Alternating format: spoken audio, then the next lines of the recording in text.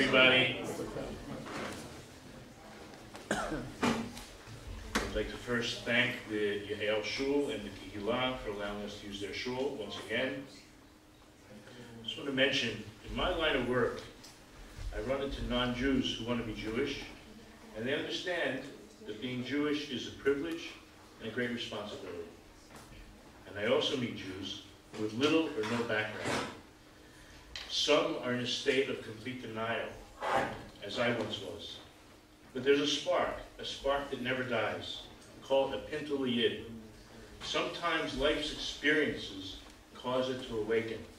It could be the environment, anti-Semitism, sometimes it's being around a great tzaddik, or just visiting Eretz Yisrael can awaken this spark. But it's there and it never dies. Noah Weinberg once told me, the Almighty that spoke and created the world, who took us out of Egypt, he fed us, clothed us, protected us in the desert, he, he's the one who plucks us out of our own man-made Egyptian bondage and brings us to freedom. He handpicks us one by one out of Chutz La'aretz and brings us to Eretz Yisrael to be close to him. He told me in the name of the Chofetz Chaim, anyone who grew up religious could have been the biggest Rosh Hashiva, the sons, the family of the Rosh Hashivas, the big tzaddikim, the righteous people who are from Chutz If they come to Eretz Yisrael, they have the din, the status of a Baal Tshuva. It looks like this crowd is mostly from Chutz So this applies to us. We have tonight a very special couple who found their way home. The Rabbeinu Yonah points out in the Shar Tshuva that if someone is in the process of tshuva and they want to complete their tshuva, have a, a, a shlimut, he says that one needs to bring somebody with you. You don't do this alone. It's a communal thing, and alone, it just doesn't work. You not you need, it's like a prerequisite. You need to bring someone along with you and help raise others to the same madriga. I pray tonight that our nation awakens and yearns for that intimate relationship with the creator of the universe. Chazak v'amatz, that we should stay strong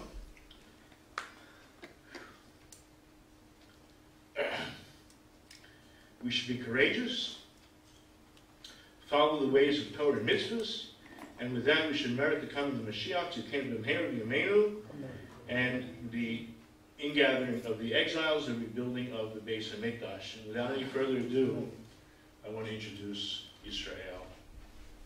Thank you, for, right, thank you very much.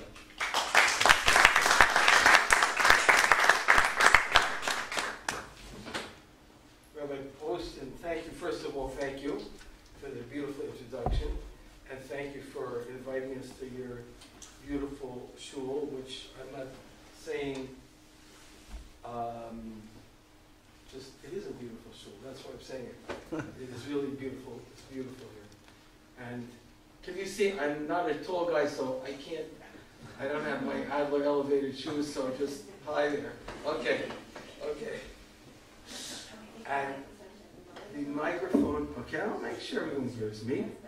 And um, Rabbi Poston said I should begin with my jacket on. So I, be, I began with my jacket on. Now I can stay on. also, okay. Israel, if you don't mind turn their cell phones. On behalf of Rabbi Poston, I hereby ask everybody to turn your cell phones off. I just turned mine off. And, uh, okay. I, I also, I, I want to say that I give everybody a Yasher Koach for coming out tonight. On the way here, we passed Shayafo, and it was just empty. I mean, nobody's out tonight. People are afraid, which is very understandable. And kol kavod to everybody who came. And uh, Bez Hashem, we should see the day soon when we can walk in the streets of Yerushalayim and all of Eretz Yisrael and nobody has to be afraid again. Amen. And B'ezras Hashem, for sure, that's not far off, for sure. But right now, it's a little rough. It's a little rough. And I hope to speak about that a little at the end of the program. So, we're right now about to begin the um, greatest story there is in the world, meaning we're about to start Sefer Bereshis, we're about to begin the Torah all over again. We're about to uh, meet Avram Avinu in two weeks, and um, it's a time we Jews tell stories, and our whole existence is a story, and the story is not over. The final chapters are very much in the process of being written right now. So we're going to tell you, as Rabbi Kosin said, we'll, we'll, as Hashem, tell you our story, how the, the unbelievable, unlikely story of how we got here. Yes, sir. Would you be kind enough to translate the Hebrew? Absolutely, thank you. And if there's anything particular you don't understand, please stop me. Yeah. What did I say already that's incomprehensible? Okay, whatever. Thank you, absolutely. So, I, I, I had the privilege, I have had the privilege, I have the privilege of having written four books.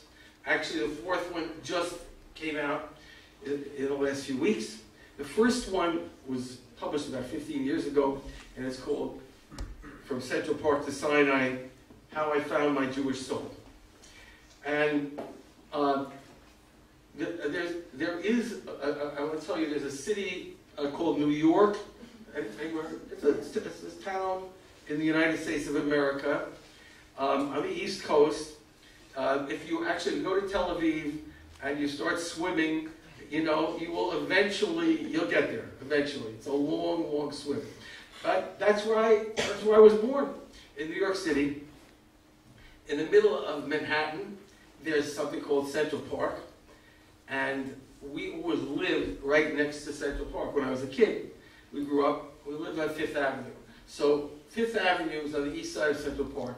And Fifth Avenue is known as an affluent street.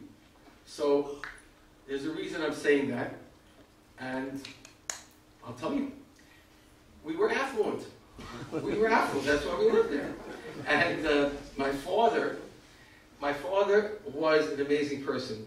Um, when we set up the mic and everything right now, Rabbi Poston very correctly pointed out he can't stand still, or he didn't seem to say it like that, but it's true.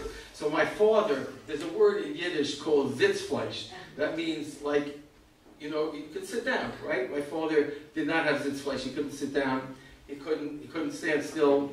He couldn't. You know, he, he. My father, as you'll hear, was a brilliant person, but he was not.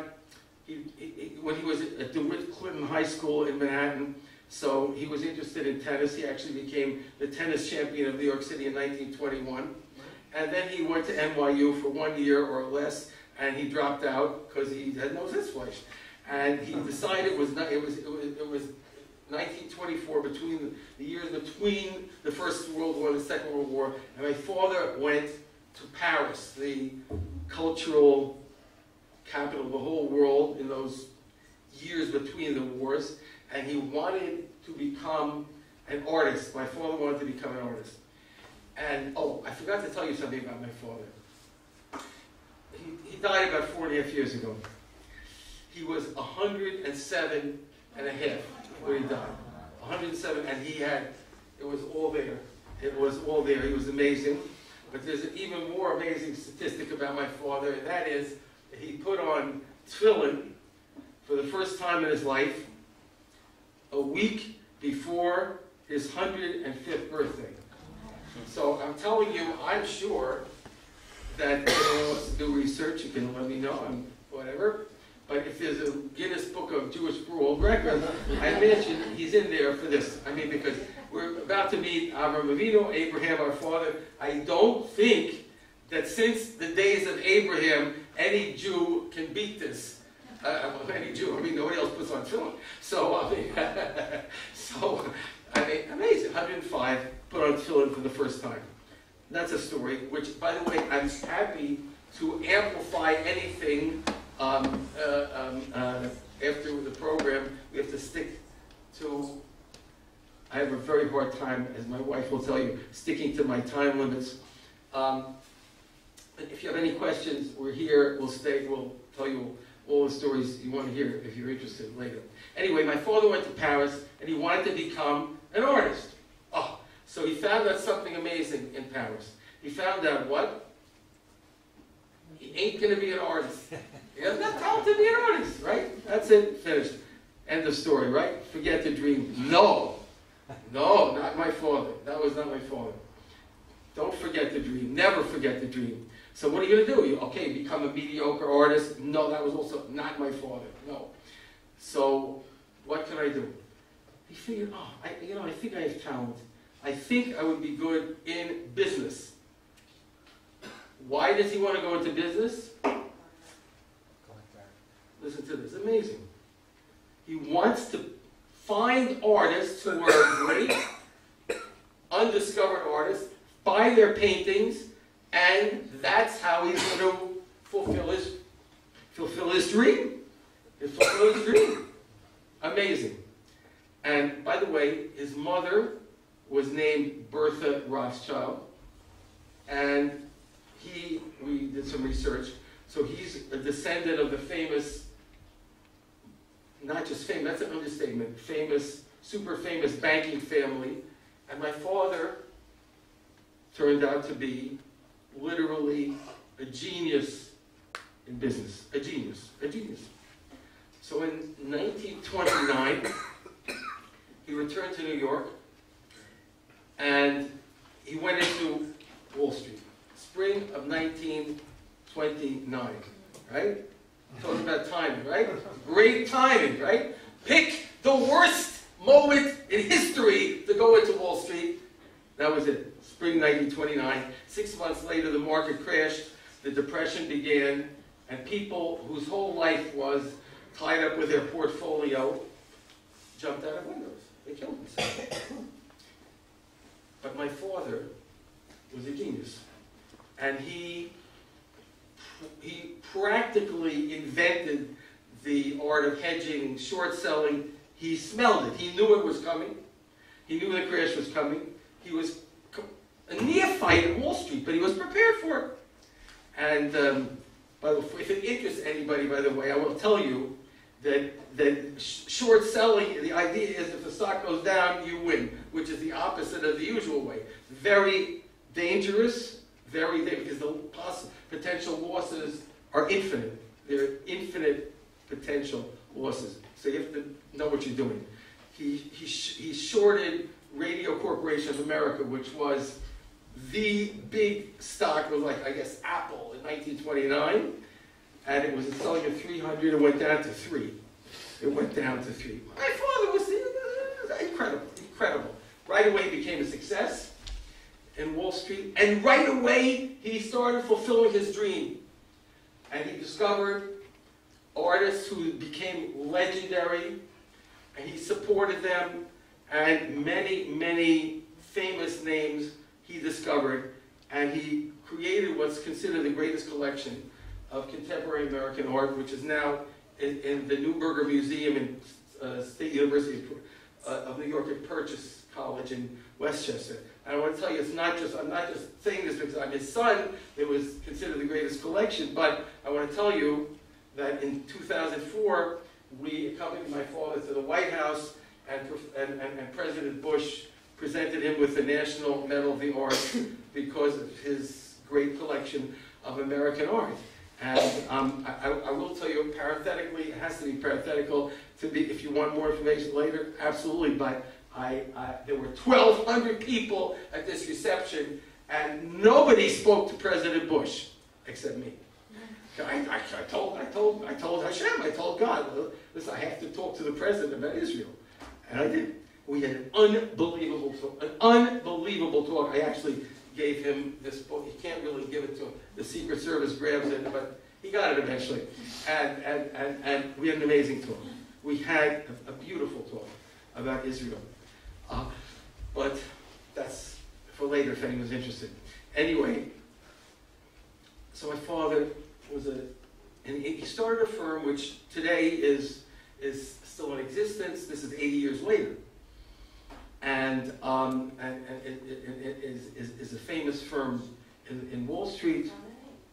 Tell the name. I get nothing from this. I have no, I mean, I'm not connected with it from Neuberger Berman. And, um, and, and, and, and so my father became famous in Wall Street. He became famous in the world of art. He was also famous for something else. He was famous for, I, I guess the word you say in, in Hebrew, yashrut. He was straight. He, integrity. His word was his word. Everybody knew that he could be trusted 100%, and that in addition to his genius, that is one of the secrets of why people trusted him with their their assets, their savings, their their their accounts, and, and, and it became a big firm. Thousands of people today, and, and many, many, many partners. So he was famous for these three things, and you know he passed this these ideals to his children. My mother, may she rest in peace, was a totally different kind of person. My father was very outgoing, very intuitive. My mother was very intellectual, very spiritual, but in her own, in her way, just as amazing as my father. Just as amazing as my father. A very active person in New York cultural life, and amazing parents with three children. I have an older sister, younger brother, and you know they say the middle child is sometimes uh, you know a little uh, this or whatever.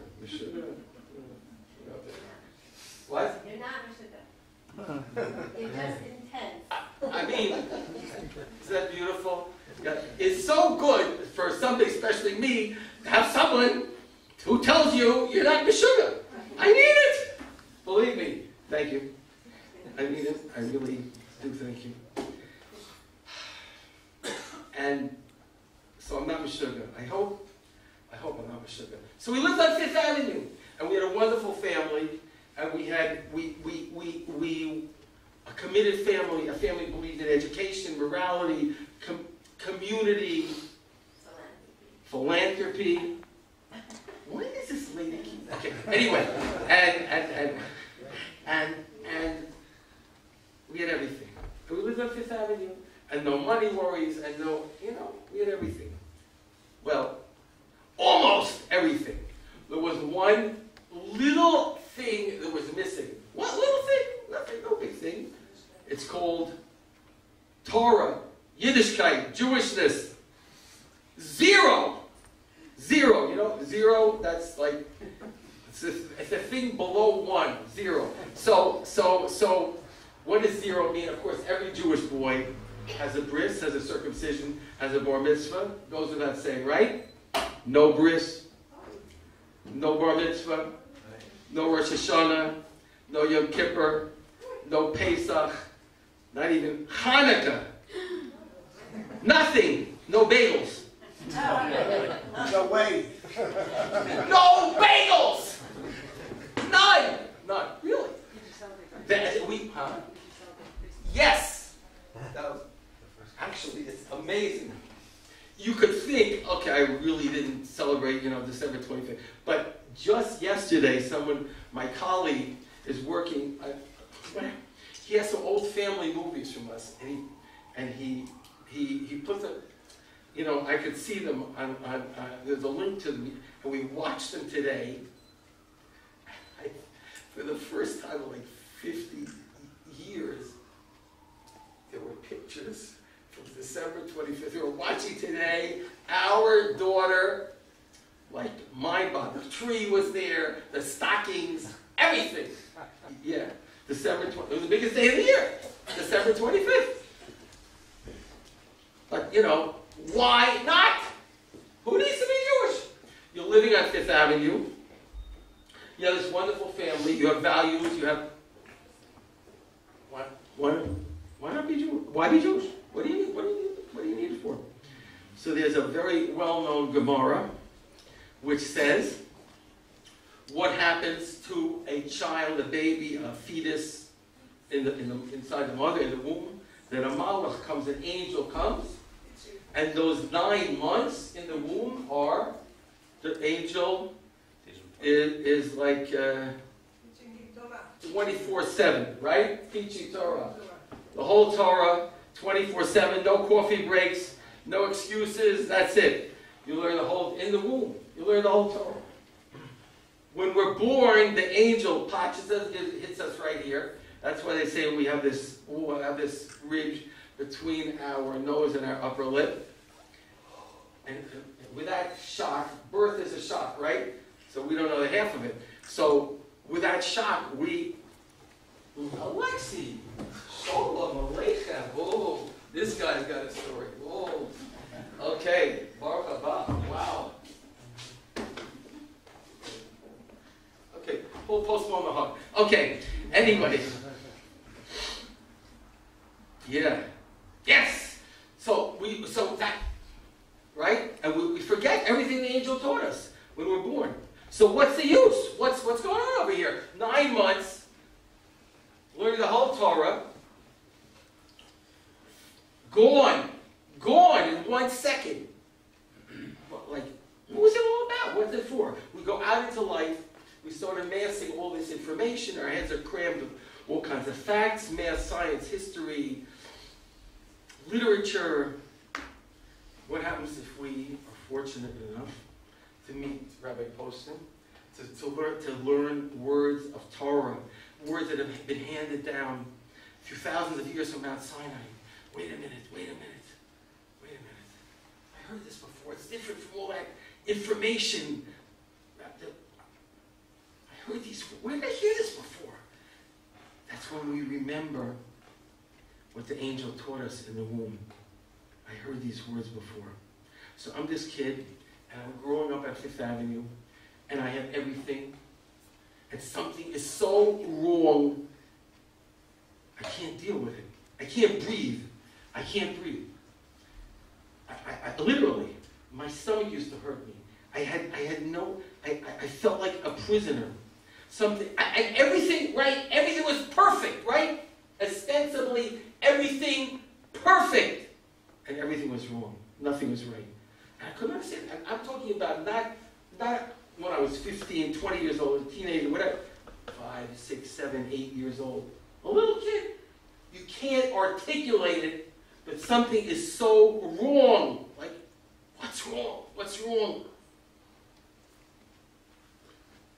I had to find out. I felt like, and I was, I was scared. So like, what? What are you scared of?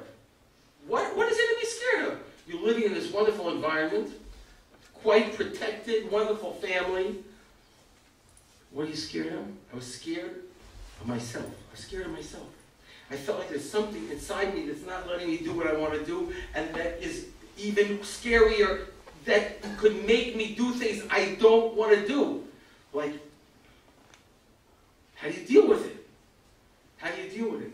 You know, we learn when we learn Torah, we learn there's a concept called Yetzer Hara, which prevents a person, the Yetzer Hara, the evil inclination, prevents a person from following the Torah. So we have to fight it, you know? That's the concept of the Yetzer Hara. It's not a concept. I'm this little kid. I never heard the word Yetzer Hara. I never heard the word Torah in my life. I saw the Yetzer Hara in front of me. I couldn't control. My whole life was outside my ability to control. So what do you do? What do you do? I had no, I had no, I had no idea. Forget answers. I didn't know what the questions were. So I asked my mother, like, and she could understand it because she was this very spiritual person. But she didn't know what to do either. So I'm going to just give you, the book really details to a much greater extent than we time for now, was want to till 2 a.m. or 3 a.m., all the different stops along the way. But I look, I had to find a way to live. What do you do? How do you live? I'm going to give you a, a, a, a sampling, sampling. First of all, Sunday school. I, I, I, we- we went, to, you know, in America they have Sunday school, right? So they, two hours a week, they, and, and, and, and it's something called religion. Maybe it deals with this. I don't know. I heard religion, whatever it is. So I went to Sunday school, and what do we learn? It was a very little, liberal Sunday school. And one week we learned about Catholicism, one week Protestantism, Zoroastrianism, um, um, Buddhism, Hinduism, um, um, um, Islam. Uh, one week Judaism, whatever that is, and and and and, uh, Roman mythology. Greek. Did it help? No, it didn't help. Did. Thank you, thank you, thank you, thank you. I made a bracha already. Okay. Ah, what unbelievable word. Oh, oh, thank you, thank you. L'chaim, l'chaim. Didn't help. It's it's it's it, it, it, it, it, it, it's just a theory. It's just a theory. I, I, I don't need, I, I don't want theories, I, I have to live. I need something real. No theories, no good. What else? So I thought, oh, great literature. Now, I mean, the greatest writers of all time, Shakespeare, Chaucer, Homer, Milton, these were brilliant, world-class figures. Fine, so you want truth, you want reality, okay, they know, they have the secret. Shakespeare, beautiful. Hamlet, you you know Hamlet, inside, outside, backwards, upside down, every word, every letter of Hamlet.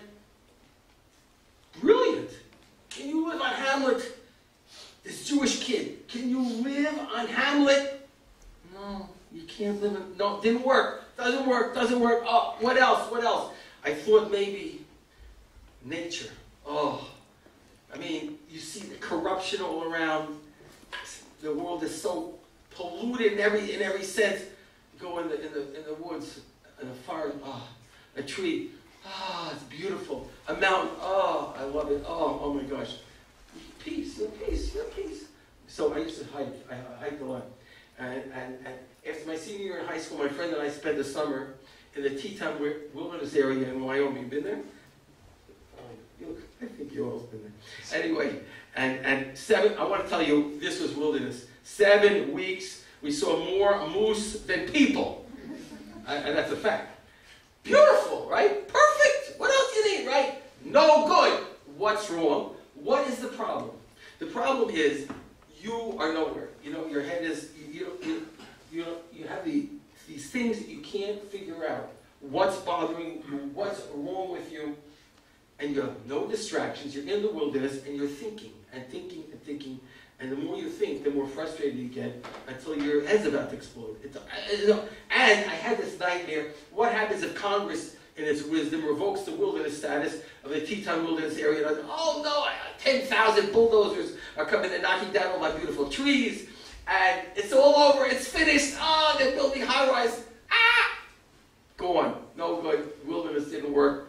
What else? What else? So in high school, when I was in high school, I, I, I imagine some people in this room will remember these days. So when I was in high school, it was the time of the um, uh, civil, beginning of the civil rights movement, Dr. Martin Luther King, and I just want to say specifically here, I'm not making a so social statement here, but we thought we're going to fix the world, and we're going to, you know, right the wrongs, and we're going to end discrimination against black people. So we used to picket.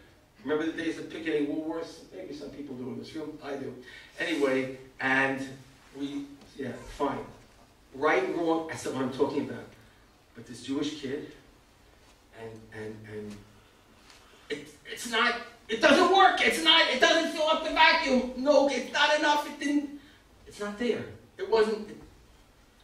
In, in, in college, Vietnam War, peace movement, we're going to bring peace to the world. Again, right, wrong, I'm not making a political statement.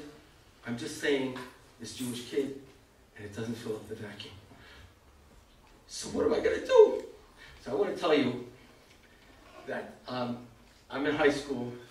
I'm a very shy kid because I'm not normal. I mean, I am not normal. I have these worries and thoughts which normal people don't have. They live on Fifth Avenue and they have, have all the things I had, I mean, I should be 100% happy. I'm not, so I must be a little not normal. And so I couldn't, I was afraid to speak to girls. I was afraid to speak to girls. I mean, if she was, uh, you know, like, uh, um, you know, ugly and unpopular and everything, okay, I can speak to her, I mean, no big deal, you know, but, but if she was beautiful and popular and successful, like, what, she'll never speak to me, she'll never speak to me. I mean, the Nebuch Neuberger. So, what, so what happened is, Linda Valenci. I don't know why my wife is making this face at me.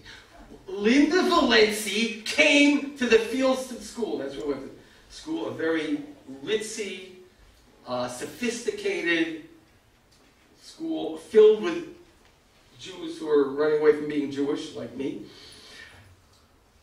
in a very fancy neighborhood of New York.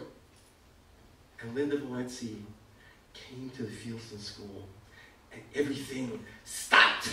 The teacher stopped teaching, the students stopped, you know, listening, and, and, and, and, and all the, you know, guys just, like, and what, like, how can I go out with Linda Valencia? That was the main topic of conversation of the entire school, every day, all day long. So, and of course, I, the Nebuch Neuberger, will never, ever, I mean, speak to Linda Valencia. It's impossible. Impossible. So I just want to tell you that in about nine months from now, there's a, a portion of the Torah, Parshas Balak, tells about Bilam, the non-Jewish prophet, and Bilam had a donkey. Bilam's donkey was very interesting, in many ways smarter than Bilam, um, um, uh, because Bil- Bilam's donkey could speak. If Bilam had listened to his donkey, he would have been a lot better off, but he didn't. He got into trouble. But this is what we call a, a nes, a miracle. Uh, when a donkey speaks, don- the, a miracle is when God creates something which does not operate according to the normal laws of nature, and there's always a, re- there's always a reason for it. So I want to tell you, I was at a track meet at the Fieldston School, and I'm sitting there watching the track meet, and all of a sudden, I look around, and I'm sitting next to Linda Valenci. I start to shake. I turn to ice. What am I gonna do? What am I gonna do? What am I? All of a sudden, a miracle happened, and mouth opened. I spoke. I, the Nebuch, spoke to Linda Valenci. I couldn't believe it. What? And it was normal words, like human, we had, like people talking to each other. And we had a conversation. And so, you know, like, what do you do? So, okay, I asked her. uh, She go out with me, whatever. I mean, and she did. And nobody could believe it. And we went out all through high school. And then I went on to the University of Michigan. For some crazy reason, Linda Valenci followed me to Michigan.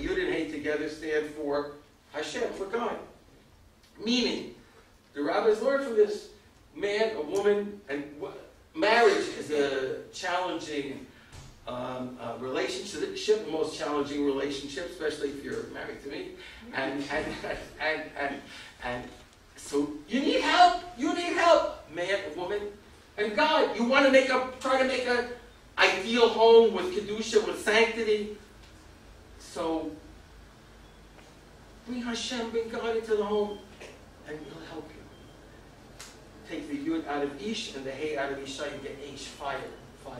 What does it mean? So we experienced that. We were married a few years. A fight, an argument, and a fire, a little fire begins. You don't have God in the house, and the fire gets out of control. You, you have no equipment to put the fire out. You don't have God there to help you. And, and, and, and, and, and, and this is what happened with us. About after a few years, still in, I was in graduate school in Michigan, and it was getting worse. And the whole marriage was just was, was, was, was burning up, burning up on fire. I didn't know what to do. I tried everything. What can I do? What can I do? Came to a point, I remember in the exact minute, literally, 2 a.m., Monday, January 10th, 1966, Ann Arbor, Michigan. Woke up in the middle of the night. I'm crying. It's all over. It's all over. It's, I tried everything. There's nothing I didn't try. Imagine my life was like this long corridor, hundreds of rooms. Off the corridor, I opened every door to every every room, and every door led nowhere. I tried everything. There's nothing. It's all over. I'm crying, and then I get this crazy idea. Wait a minute. Wait a minute. Could there be a God? Could, why God? Are you kidding? Like uh, me? You know, I'm okay. I mean, if you if if, if, if, you lived in the dark ages, you know, and you knew nothing, you couldn't read, you couldn't write. You, okay, so they would the world, dark world filled with superstition. Okay, so they believe in God. But me, I'm a sophisticated, uh, brilliant student in 20th century America. God, where, where's God? I don't see God. Wait a minute. Your life is falling apart. You need God. God, wait, maybe, maybe you're there. Do you exist? If you exist, help me, help me. Oh, maybe God is real. Maybe God is real. The first time, what was I, 23 years old? The first time my whole life, I had hope. Maybe, maybe, maybe there's hope. Maybe there's something in life I can live by. Okay, I'm willing to believe in God. But, I mean, I'm not Jewish. Don't get me wrong. I mean, I am not Jewish. And anyway, Jews do not believe in God. I mean, I know that. I can prove it. How can I prove it? I will give you my proof. I went to my friend's bar mitzvah, and a guy gets up there, blah, blah, blah, blah, blah, blah, blah, blah, blah. He had, no, he had no clue what he's saying. Nobody in the room had a clue what he's saying. And then we had this great roast beef, and then we gave him a beautiful check, and he had, the guy had an unbelievable bank account. So Jews believe in roast beef. Jews believe in bank accounts. And where is God? I mean, no, no, not here. Forget it. Jews don't believe in God. Definite. So who's the role model? I mean, I've got to find a role model. Ah, oh, Dr. Martin Luther King. Oh, there's a role model. Mahatma Gandhi. There's a role model. So we started getting into Hinduism. We had a professor from India. We studied with him. Then I, then I started getting into Buddhism. And I, I, I, got these Buddhist dream books. And I used to wake myself up in the middle of the night every night. Seriously, I mean, I would try to remember my dream, which is very di- difficult. It's very difficult to remember all the details of your dream. It just floats through. There's something that's amazing in Rosh Hashanah davening. It, it, it talks about evil disappearing like a dream, you know, disappearing into, into thin air. And, and, and, and it's true. Very hard to remember your dream. So I thought if I can remember every detail of my dream, so I'm going to find, you know, perfection, mental clarity. Excellent, wonderful. Three years, I wake myself up every night in the middle of the night, and as, as they say in, in Yiddish, you know, gornisht with gornisht. Three years, nothing, nothing happened. Like, I realized three years later, like, what's going on over here? Nothing's happening. Nothing's happening. And, and what's the goal? Sit on the mountaintop and try to achieve this mental perfection. And you know what? I don't want to sit on the mountaintop. I mean, I'm a person. I'm married. I eat, I sleep, I walk, I talk.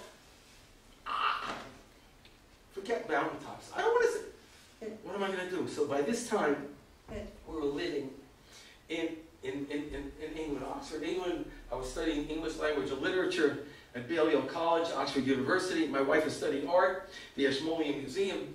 And we used to travel around the continent, Rome, Paris, London, uh, the Vatican, cathedrals, frescoes, statues. Oh, I mean, you idiot! I mean, it's so obvious. Christianity, that's it. I mean, like right in front of you, right? So, uh, so I started getting into okay. Saint this, Saint that, early church fathers, what- and I, I and I wrote a book. I wrote a book, um, which you know, and I will say, I mean, I am a very modest person. So I mean, I, I have to say, it's you know, in all modesty, it was you know, definitely one of the most brilliant books in the history of the world. And I'm just telling you. I'm just telling you the truth. That's all. Just you know, just. But I have to tell the truth. Um, the title of the book was "Why the Jews Are Wrong and the Christians Are Right." I don't want people laughing. I mean, it's a serious, serious book. There was one slight problem with this book. Nobody wanted to publish it. Like, you know, God, what are you doing to me? You know, like the most brilliant book in history, and nobody wants to publish it. Now I look back, I Baruch Hashem, thank God, nobody published this garbage. Not one, I mean, I have one copy of it. The whole story why I still have a copy of it. Rebbitzin Jungreis told me, don't, you just keep one copy, because someday you're going to say you never wrote it. But you did. So I have it. Anyway, not one word makes sense in the whole book, I guarantee you. you if you're ever in, in Lawrence, New York, you're welcome to look. I'll show it to you, and you will not be interested in it. Anyway, so what are we going to do? We have to find something to do with our lives. We came back to America.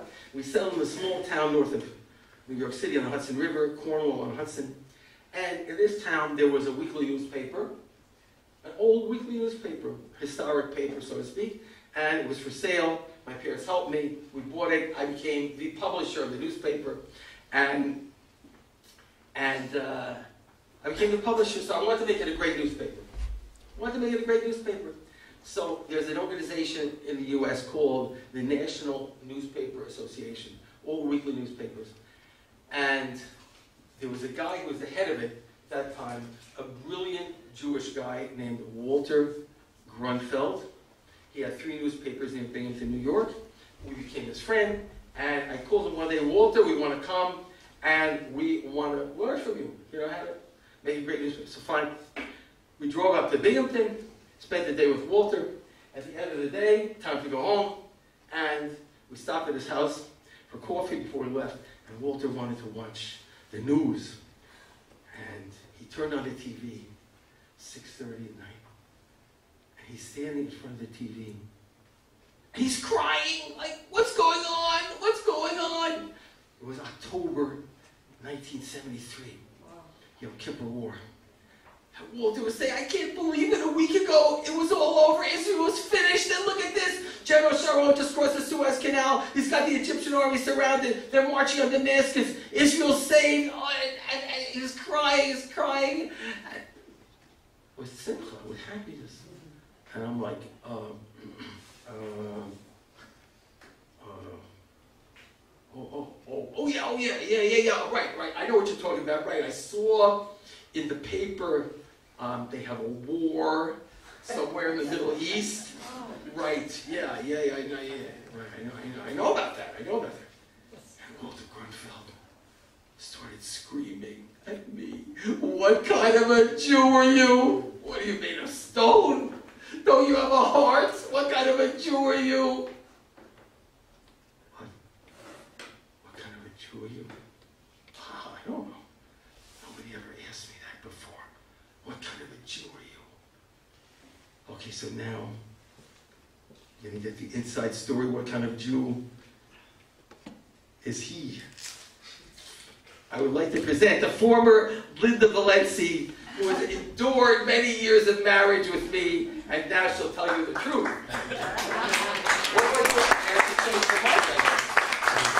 Leave it, it, use this mic. Okay.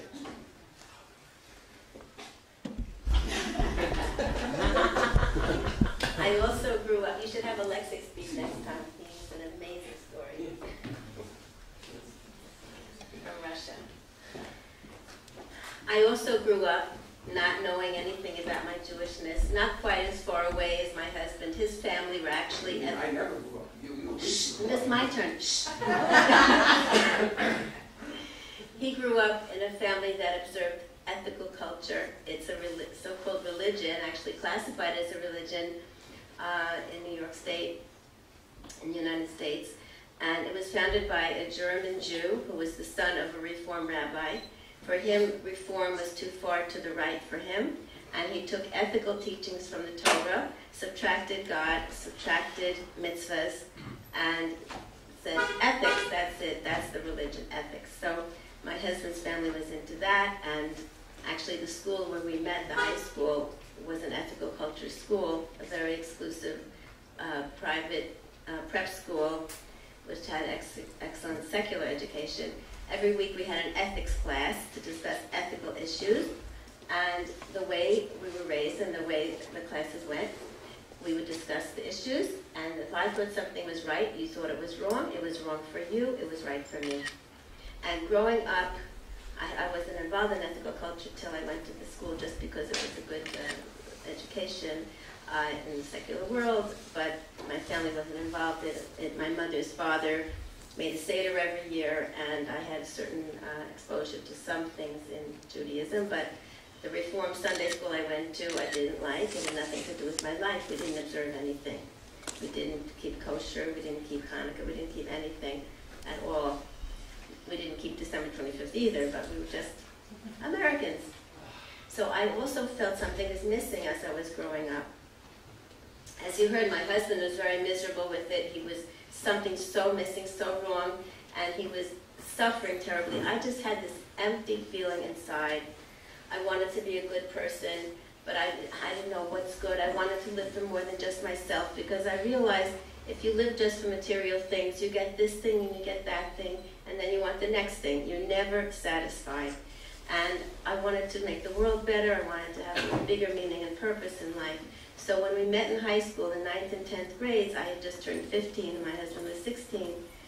Together we searched, my husband made me more intensely aware of something so missing and wrong, and we searched together in all the areas that you heard about from my husband. So finally, this man is screaming at my husband, What kind of Jew are you? We had never been interested in our Judaism. We had gone to our friends, some of our friends performed our mitzvahs. It was just a party. Money, presents, a party, goodbye. They never went back to synagogue. So we figured Judaism is materialism. We want a real meaning and purpose, is something spiritual. And so we we just uh, decided that everything else must have something spiritual. But thank God, our Yiddish Neshamas, our Jewish souls, told us these other religions were not for us. They were not right for us. They, they didn't satisfy our Jewish souls. We wanted to be normal people, married, raising a family, part of a community, but to have a spiritual dimension to our lives, a higher meaning and purpose, something, something real to live for above ourselves. And in all these other religions that we studied, in order to, to fulfill the highest, you had to be an ascetic, remove yourself from society. And we didn't, we knew that wasn't right. So this man is screaming, what kind of Jew are you? We decided we better look into our own. We had two daughters at that point, five and three years old. Our five-year-old had mostly non-Jewish friends asking her, uh, uh, telling her about their religion. She was asking us about God. We didn't know what to tell her. We lived 60 miles north of New York City at that point in Cornwall, New York, and there was no synagogue in our town. But the nearest synagogue in Newburgh, New York, was five miles away. We asked a friend who was an advertiser in our newspaper to take us there. So he said, next week there's this lady evangelist coming. She's not an evangelist, actually. Rebbitzin Esther Jungreis. She's not trying to convert anybody who's not Jewish. She goes around the world to teach Jewish people what it means to be a Jew, to learn more, to do more. And so we walked into the synagogue and heard words that we had never heard before. She told us that all our souls were at Mount Sinai when God gave us the Torah. We're descended from kings, prophets, matriarchs, and patriarchs. We taught the world there's a God. We gave morality to the world. We have our Torah to study and live by day and night. We were so moved. We were both crying. We now what do we do? We wrote a letter to Rebbitzin Jungreis. What should we do? She said, come to my Torah classes. She taught the Torah portion of the week every week in Brooklyn, New York, at Shaare Zion Synagogue in Ocean Parkway. Come to my classes. It was a two-hour drive each way to go to the classes during the energy crisis when it was hard to get gas. The worst day of the week, Tuesday night, my husband had to get the newspaper put together to take to the printer Wednesday morning, and it was a very long job. He was everything. He was the editor, publisher, reporter, and actually in those days there wasn't. He didn't use a computer. This was in 1974. He had to use hot wax and paste the paper together. It was a huge job, but we looked at each other and said, you know what? We have to go to these classes. It's life or death. We have to find out who we are and how we should live. We're going to those classes. So he got up at 2 o'clock in the morning to get the newspaper put together. We drove the two hours each way to get to the class. And in the classes, finally, we were finding out how to have a good marriage, how to understand what's going on in the world, how to raise our children. We went every week to the class, and then Rebbetzin Jungreis announced a trip to Israel. We had never been interested before in going to Israel. After all, we thought the Arab, that the Jews stole it from the Arabs. We don't want to go there. We have nothing to do. Then we're learning Bereshis bara Elohim Hashem made the heavens and earth. That's right. Bereshis, God made the heavens and earth. Rashi points out how come the Torah, a book of laws, starts with the creation of the world? And he predicted a thousand years ago, Rashi predicted, he said, someday the nations of the world are going to accuse us of having stolen the land. What should we do? We should hold up this book. All the nations believe in this book. God created the heavens and the earth. He could give it to whomever he wished, and he gave the land of Israel to the Jewish people, to Abraham, Yitzhak, and Yaakov, and to their descendants, that's to us. We were so excited to be able to come to Israel. We arranged it. It was very difficult uh, to get this small staff to take over the paper, my mother to take care of our two children. Our daughter is five and three years old. And we got on the El Al flight in the spring of 1974. And a midnight flight, we fell asleep. All of a sudden, in the middle of the night, we hear noises. What's going on? The men are getting up and they're putting boxes on their heads. Had never seen or heard of talis and tefillin till that El Al flight to Israel. We got to Israel and Rebbetzin Jungreis took me to the mikveh in Yerushalayim for the first time in my life after being married 11 years and having two children. The mikveh ladies were so excited and so happy they were crying. We had the first Shabbos of our lives at Kibbutz Lavi. Many of you probably have been there.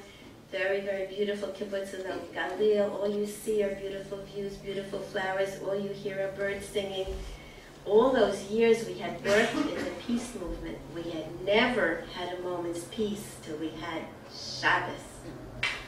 Two weeks of living a Jewish life. We didn't know Aleph Beis. Literally, if you had shown me an Aleph and a Beis, I couldn't have told you which is which. We knew nothing. We were like newborn babies. We, we, here we were honor students in the finest universities, and as far as our Jewishness, we weren't even in nursery school. We knew nothing. So we repeated the brachas after people. We had a Shabbos, a second Shabbos of our lives in Yerushalayim. We went back after two weeks in Israel to Cornwall on the Hudson, New York, and we looked at each other. We are out of here. We have to move to North Woodmere, Long Island, where Rebbetzin Jungreis lives, so she, we can learn and our children can learn how to live a Jewish life. My husband got a job as an editor at the Long Island Press. We sold our newspaper and printing business. We bought a house a block from Rabbi Jungreis's shul and sold our house. And in September 1974, we moved into North Woodmere two weeks before Rosh Hashanah. It was a real new year for us. We said, okay, as soon as we move in, we're going to do everything we know about. We're going to keep kosher and the laws of family purity, and I'm going to dress modestly, and we're going to keep Shabbos, and I'm going to cover my hair. And we jumped in. It sounds very sudden, but it really was not sudden for us because here we had been married 11 years, and for four and a half years before marriage, we had been searching and searching for 15 years who we are, how we should live, what's the real truth in the world. We found it. We felt as if our souls were starving, as the prophet Amos had predicted is going to be a hunger and a thirst in the land, a hunger not for food, a thirst not for water, but a hunger and thirst for the Word of God. That's how we felt. Our souls are starving. This is it. This is the real thing. This is our food for our souls. This is it. We're jumping in. So we start unpacking, the boxes are all around us, and the phone rings. Rebbetzin Jungreis, you're sending us three guests for Shabbos? Ah! Well, we had only a few Shabbases before, and we don't know our face, and we don't know. Listen, don't worry. You know very little, but these people know even less than you. and they're going to feel so comfortable with you. And if you have any questions, come on down the street, ask the rabbi what to do. So we had the guests, a husband and wife and son.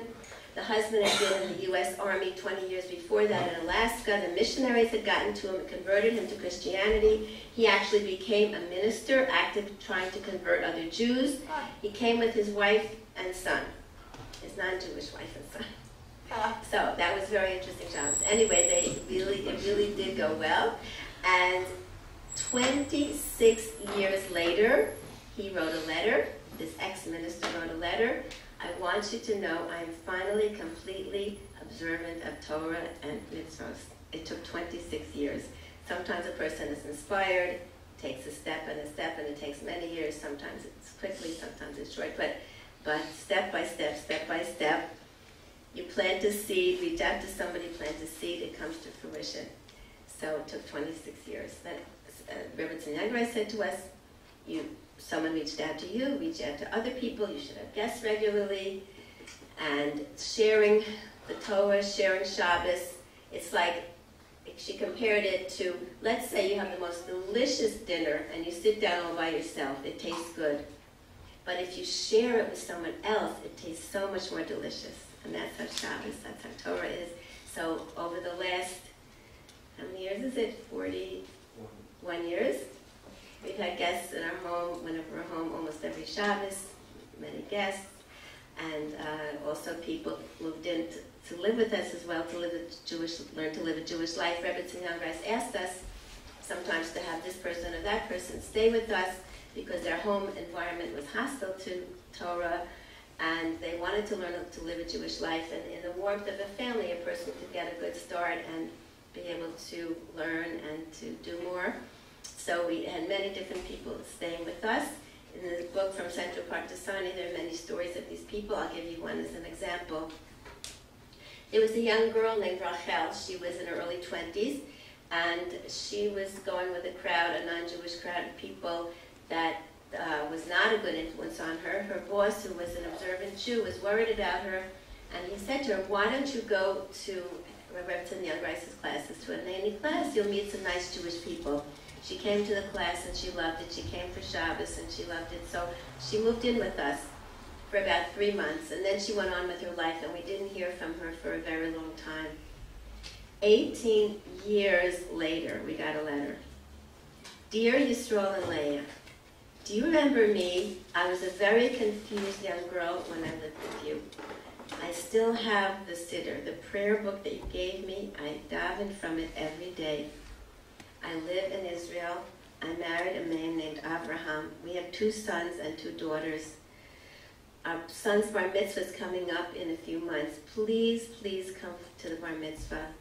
Please thank Rebbe Jungreis for everything she did. I thank you so much for everything. Please come. We were so happy to hear from her and that she was doing so well. But how can we just pick ourselves up with all our responsibilities in New York and go to Bar Mitzvah in Yerushalayim? But it turned out, remember our daughter, our oldest daughter, who was, her friends were telling her about Christianity. She was asking us questions about God. Actually, if we had stayed living in Cornwall on the Hudson, we probably would have sent her, we were seriously considering sending her to the best school in the area where many Jews go, the Bishop Dunn Catholic School. Mm-hmm. Jews have to go to the best school, right? And instead, thank God, Lahavdil, she went to Torah Academy for Girls in Far Rockaway. She married a boy from Jerusalem, and she had a baby boy about the same time as Rachel's son's bar mitzvah. So we were able to come to, to Yerushalayim for the bris of our grandson and for the bar mitzvah of Rachel's son. It was a beautiful simcha, really a wholehearted, beautiful Torah family. Now Rachel is a grandmother many times over. All her children are married and they're generations and generations. We keep in touch and we come to each other's simchas. So when we first moved in, as I said, we were like newborn babies. So what do we do? My husband had had a medical circumcision as a baby, but never a bris. So Rabbi Jungreis arranged to have a moil to give a bris to, uh, for my husband. And, and the rabbi saw my husband was very nervous. Even in the case where a doctor has done a circumcision, there's still, with a moil, there's blood spilled, and my husband was really nervous. So the rabbi said, Here, Yisrael, read this. I'm sure my husband is the only person in Jewish history to have had a bris while he was reading the daily news.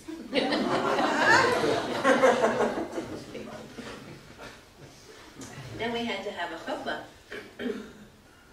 Our original wedding was with a very reformed rabbi. That was the compromise because my mother's father was a traditional Jew and my husband's family were ethical culturists. So the compromise was a reformed rabbi. So the rabbi uh, did not have a kasuba, a marriage contract, which is according to Jewish law you should, must have. He just had a piece of paper that said, I am my beloved's, my beloved is mine, a space for two witnesses to sign. He didn't bother having witnesses sign. So we had a chuppah after being married 11 years with two children, and we decided not to invite our daughters to the wedding because we were afraid they would go to school the next day and say, my mommy and daddy got married last night. a whole new life, a bris, a chuppah. We started to learn Aleph Beis with Rabbi Jungreis. In ten, a 10-week course, once a week, to learn to read and write Hebrew and then to practice. Practice, and we didn't even have Jewish names actually. My husband Roy became Yisroel, Linda became Leah, our oldest daughter Susan became Sarah, Juliet became Yafa. She married Rebbetzin Jungreis's son. And then we had Miriam Basia, Aaron Yaakov, Nechama Bracha, Baruch Hashem. We had such a beautiful life to give our children. And in the old life, the secular life, how many children do you want already? Two, three at the most. It's such a crazy world. You don't know how to raise your children. But thank God we had a beautiful Torah life, and God gave us more children. So they will had yeshiva education, and we learn from them. We keep learning from them, thank God. And they reach out and have Shabbos guests also with their families.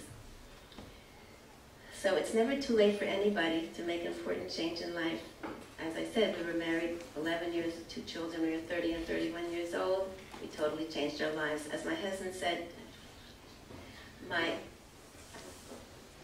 um, my husband's father put on tefillin for the first time in his life at the age of 105.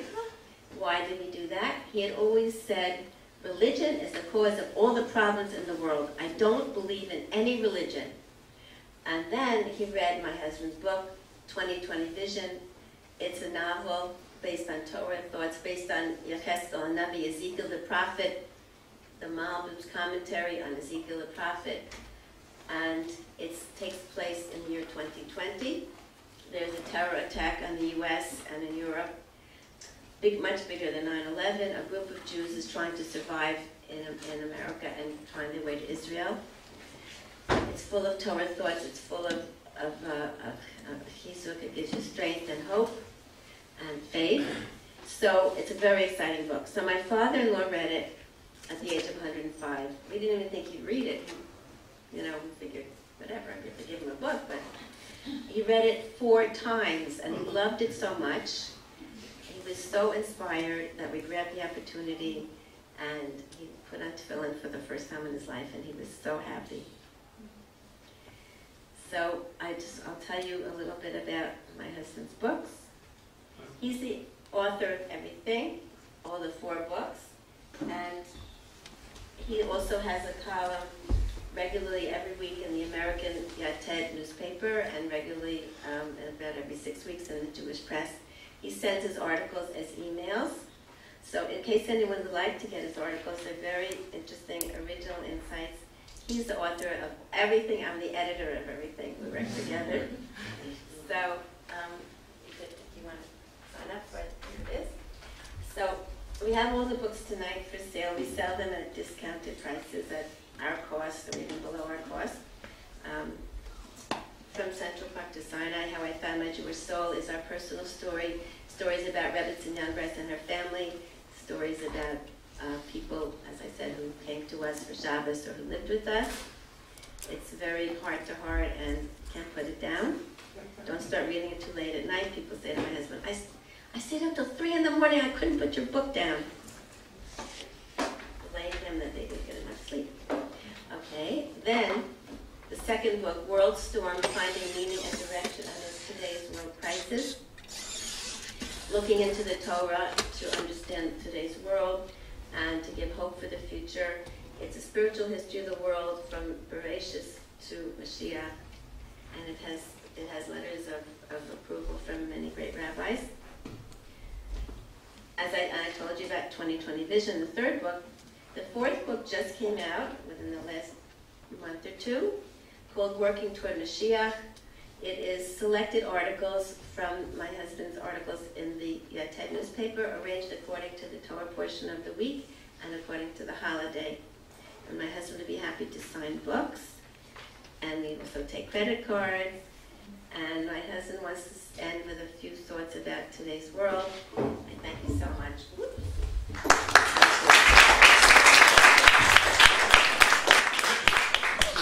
Okay, you heard the, you heard the true story, the real story. Anyway, just gonna, would like to say, five minutes? As long as you want. Okay, five hours. Okay. Very, very, I don't have to tell anybody, living in very, very challenging times.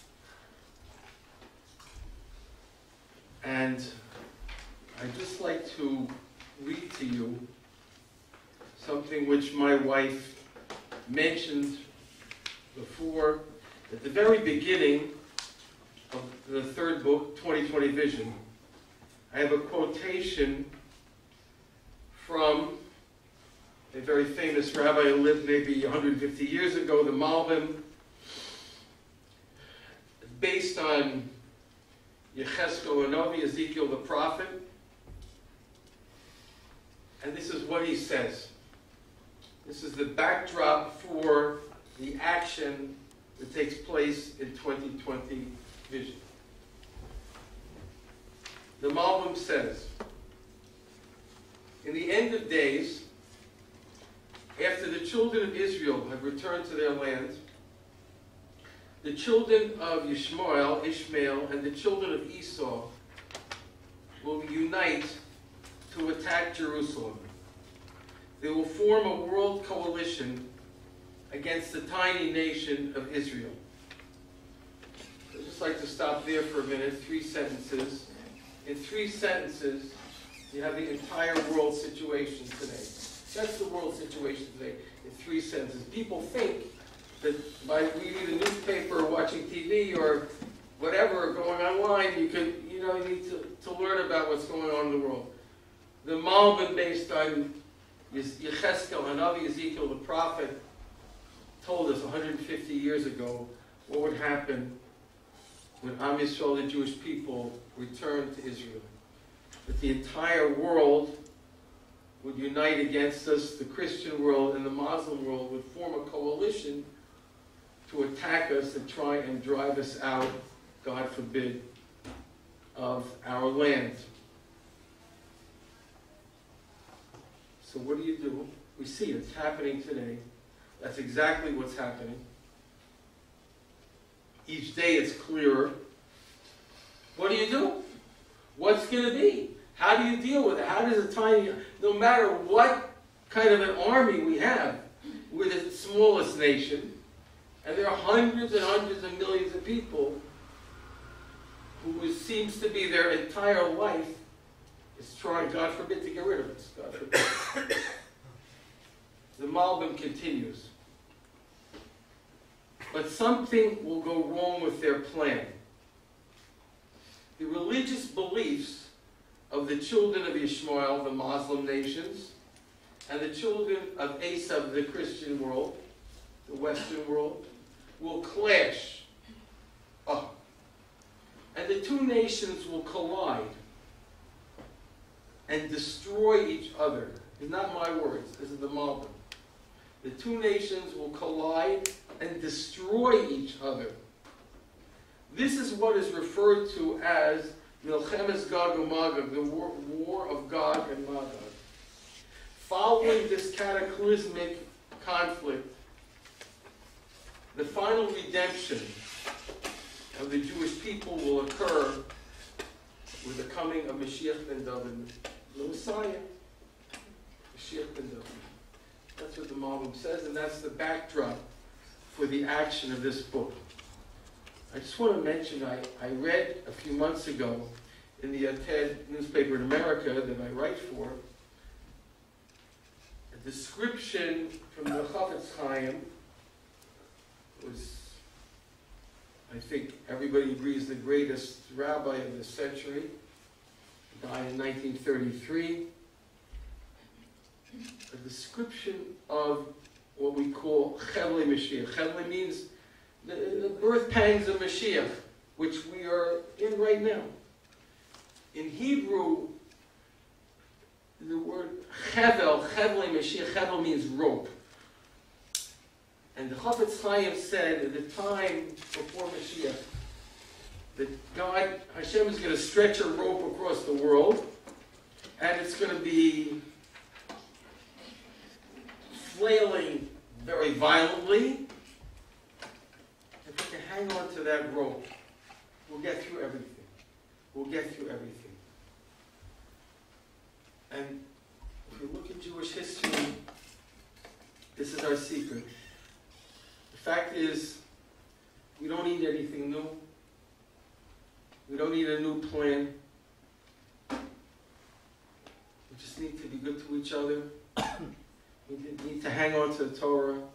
We need to come to Rabbi Poston, learn more Torah, more Torah, more Torah.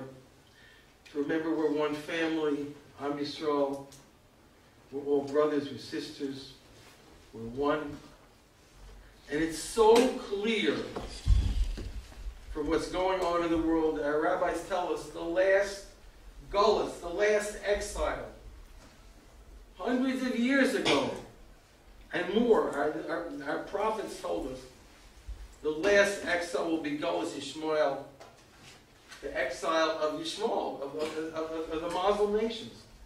It's all, everything that is happening today is totally predicted by our rabbis based on the words of our Nevi'im, the prophets. So it's so clear. We're so close to Mashiach. And all we have to do is what we know how to do already. Learn Torah, live Torah, and become one again, one nation. Feel for each other. Take care of each other. Become one the way we were at Mount Sinai. That's how we got the Torah. Uh, like one nation with one heart. Just want to end with a bracha, a blessing for everybody. We should get through all our challenges. To hold on to the Torah very tight, hold on to that chevel, that rope. And B'ezras Hashem, with God's help, we're soon going to see, very soon, going to see a world. that's a totally different world. It's not going to be dominated by the cultures of the Western cultures, the Muslim cultures. Our rabbis tell us, Torah. This city, Yerushalayim, is going to become the center of the world. From the Temple Mount, the temple will be rebuilt, just the way it is on the cover of uh, Working Toward Mashiach. And it's going to be a, a different world. And everybody will know Hashem. Hashem is real. With God's help, we should all see that day. Thank you so much. Hashem should bless us, watch over everybody in Am Yisrael. We should soon see the Geulah Shleimah of final redemption in our own days.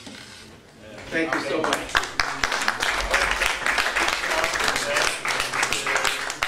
We have a questions and answer session. If anybody wants to stick around, please do so. Also, then, at the end of the questions and answer session we'll be done to Shem David Mariev. And also, the books will be available for sale outside. Thank you so much. Thank you. Such a pleasure to be here. Anyways, we have another sign-up sheet for this side, if anyone's interested. Thank you so much. Hashem should bless all of us. Any questions? A question?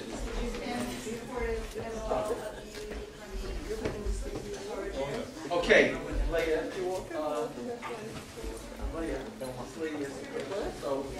okay. I'm, I'm gonna repeat the question so everyone can hear it. So this is, this is a, a very good question. Was our family supportive of our becoming Torah Jews? And the answer is, at first, they thought we were nuts.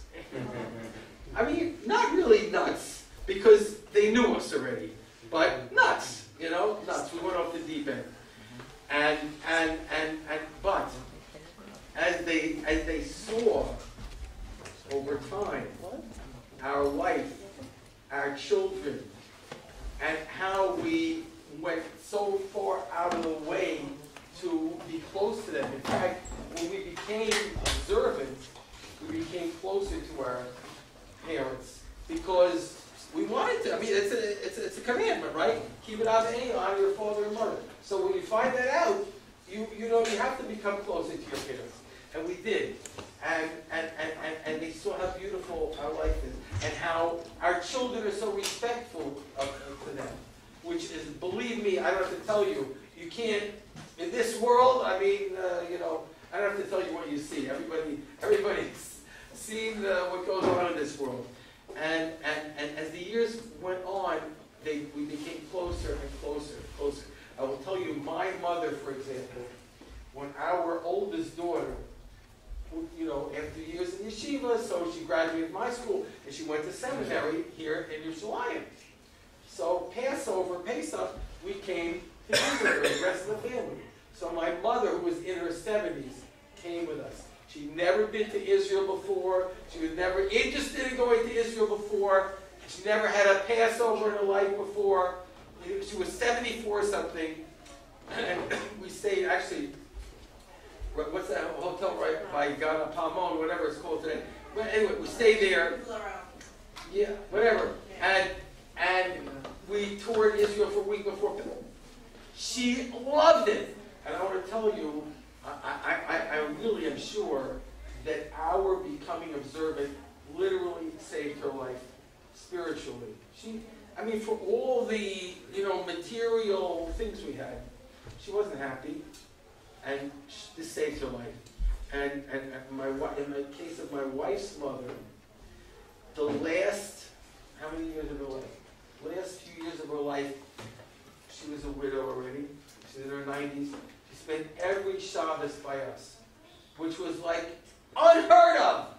And she became a different person. I want you to know, we were with her in, the hospital. She died on Shabbos, Friday night. She passed away. We were with her, in her room with her.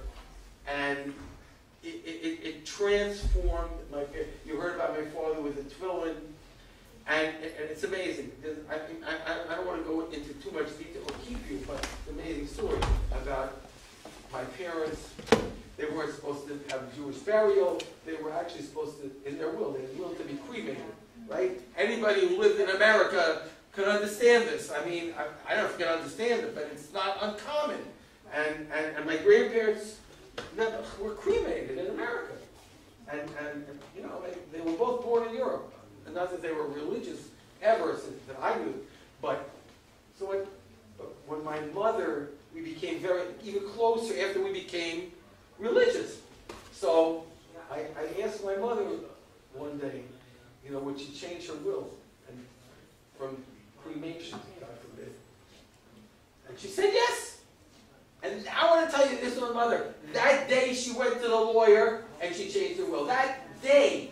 And then my father, which my my mother changed her will. My father changed his will, and and they both had Jewish burial. And okay, I got to tell you the sequel. You got to hear this. I can't help it. You asked the question, so now you're gonna hear the answer. My, the first yahrzeit, the first anniversary of my mother's death, right? So I went to, what do you do? You go to the cemetery, right? I mean, so I went to the cemetery, and as I'm leaving, I'm the only one there, of course, and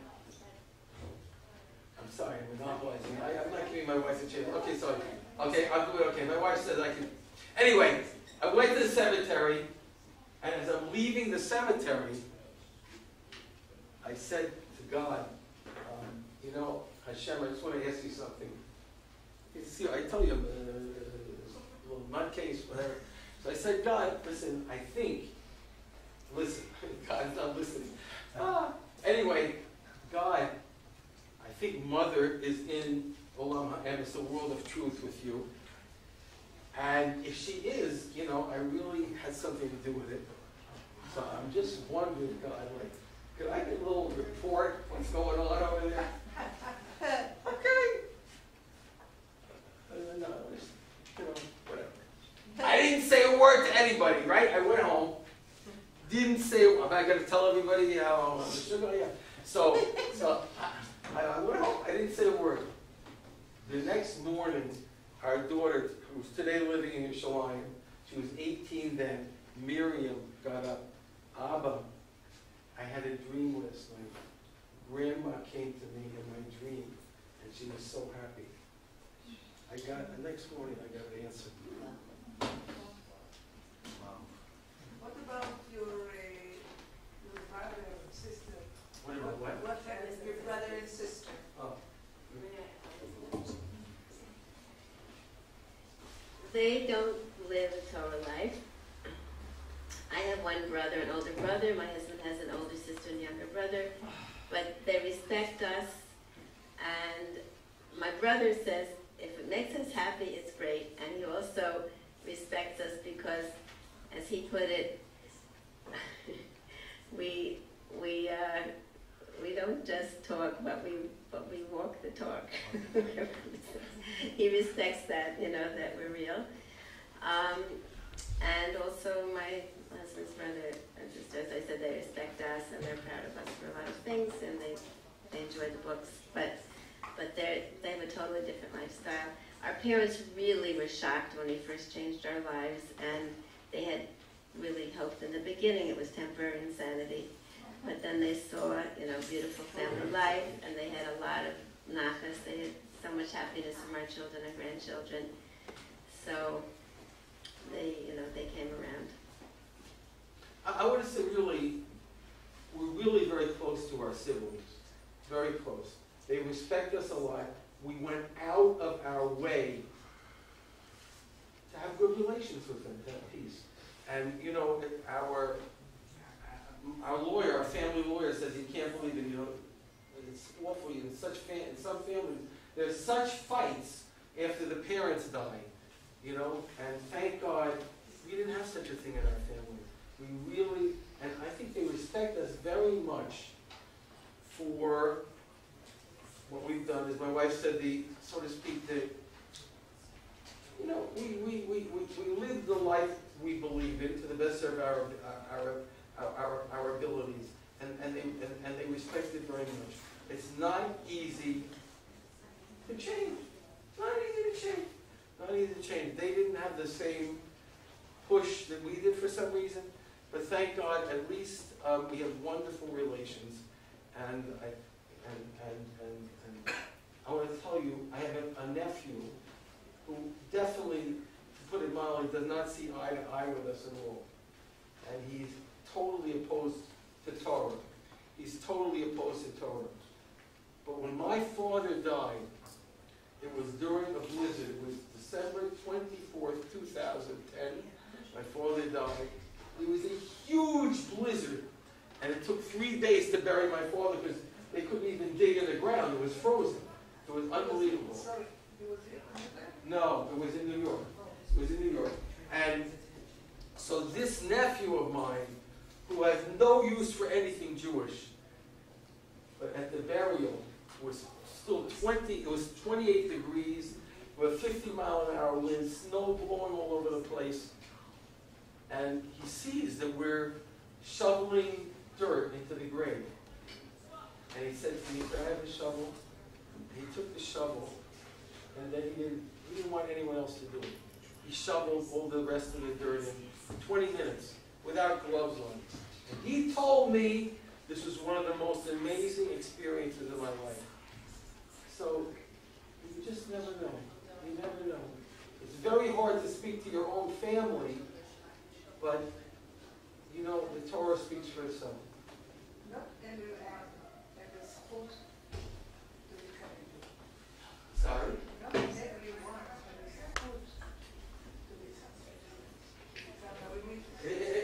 It's true.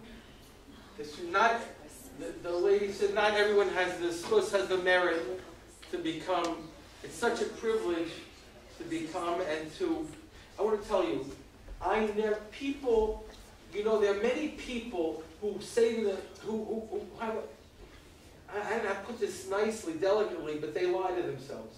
And they say, I'm happy, and they're not happy.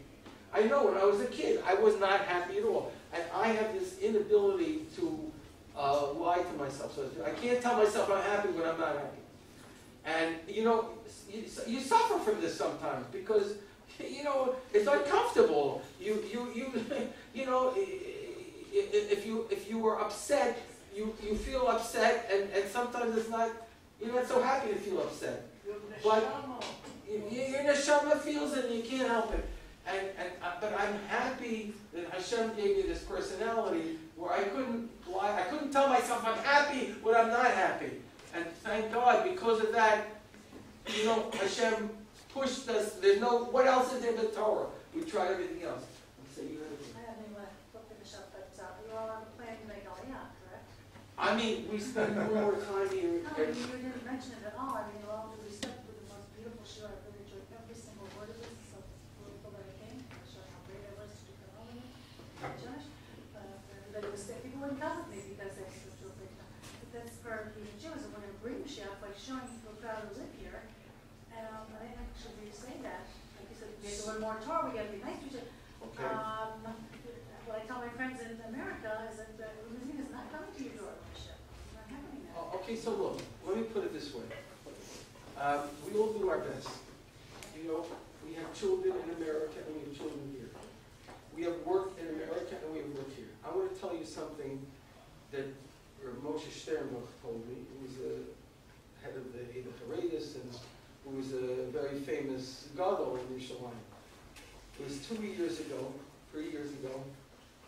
It was just after Shavuos, and we were going that night back to America. And I was very upset. I didn't want to leave. I didn't want to leave. And that day, someone brought me to see him. And Rabbi Sternbuch said to me, and I told him, Rebbe, I'm very upset. I don't want to leave. He said, Yisrael, I tell you, you're a soldier, and soldier has to go where the battle is. So, I want to tell you, we speak in America, we do our work in America, and we have, we have what to do there. So, we try our best. We try our best. We have to do, we have to, we, we have to, we have to be where the battle is and do, and, and, and do, do, do our best. We, we're here many, many months out of the year, almost half the year, we're here, we're back and forth.